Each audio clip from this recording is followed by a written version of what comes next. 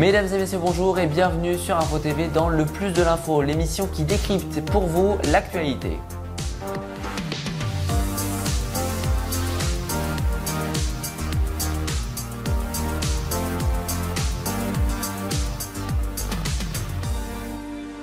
Comme chaque jeudi soir et comme habituellement, les autorités ont fait un point presse pour développer la situation épidémique en France qui est désormais très préoccupante, vous le voyez.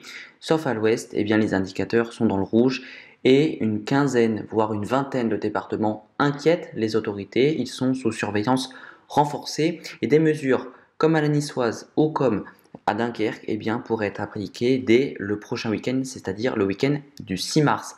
Alors, la mesure dans le Dunkerquois ou sur les côtes niçoises, eh bien, il s'agit des commerces et galeries marchandes de plus de 5000 m2 qui sont fermés. Le click and collect reste autorisé tout comme la vente à emporter. Les jauges d'accueil dans les commerces sont réévaluées à la hausse. Il y a également un confinement localisé du vendredi 18h au lundi 6h. À Nice, le maire de la ville, Christian Estrosi, a décidé de fermer la promenade des Anglais le week-end s'annonçait pourtant estival, d'autant plus qu'il y a les vacances scolaires à Nice en ce moment. C'est donc un crève-cœur pour les commerçants, mais la situation épidémique est très grave dans ces zones.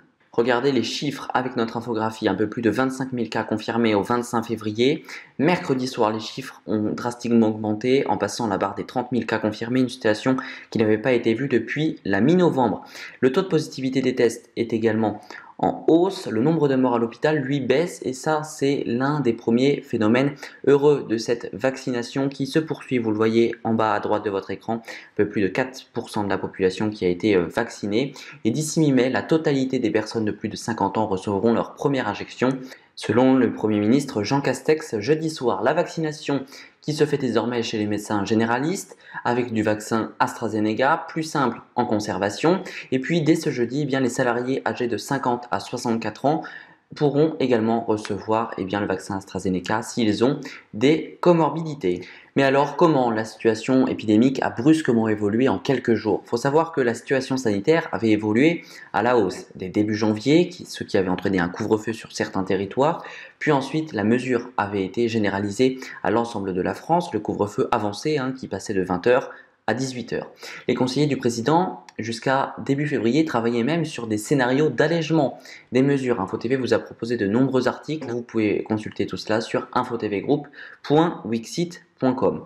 Mais depuis mi-février, eh bien, il faut savoir que les indicateurs repartent à la hausse et le gouvernement a montré très vite son inquiétude avec de nouvelles stratégies qui ont été adoptées pour freiner le virus tout en préservant une vie économique et une vie sociale puisque les Français souffrent beaucoup lors des confinements, notamment avec la fermeture des écoles. Le facteur psychologique est également pris en compte depuis le second confinement à l'automne dernier.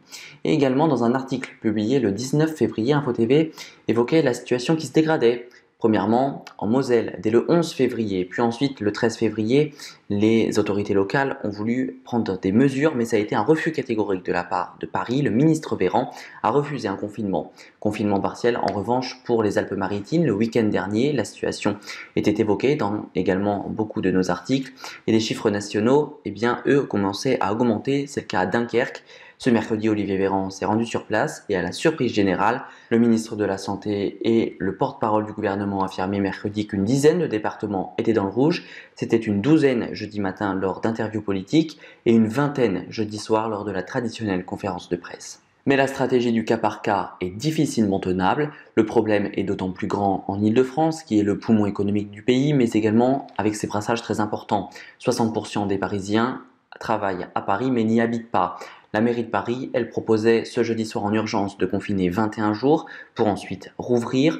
Mais très vite, le premier adjoint Emmanuel Grégoire a rétropédalé vendredi matin en évoquant une simple hypothèse de travail.